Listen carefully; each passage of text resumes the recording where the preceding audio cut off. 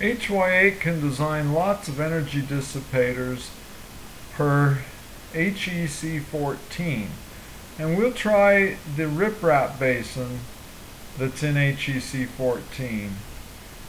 We choose an external dissipator and we tell it we want stream bed level structures and we're going to use the riprap basin which only works when Froude is less than 3 and our Froude is 0.91.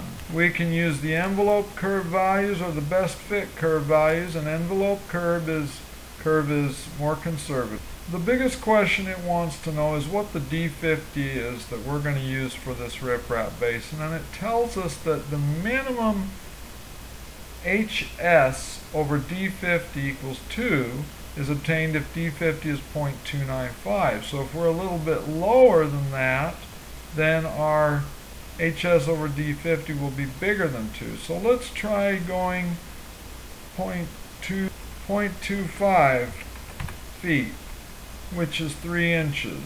Let's make our D max 0.5 feet. And it gives us all of our answers for the basin. All these numbers refer to the diagram in HEC14. We have a length of a basin, we have the length of the scour pool, the length of the apron, we have HS, which is the height of the scour uh, pool, etc. So you can refer to this figure, this diagram, for all these numbers.